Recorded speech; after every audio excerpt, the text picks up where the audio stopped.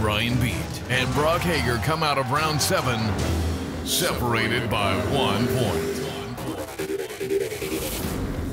With only two rounds left until we crown a champion, tight points are not where you want to be.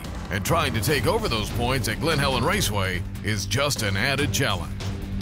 Find out how it all unfolds here at the Lucas Oil Off Road Racing Series. This Sunday on CBS Sports Network.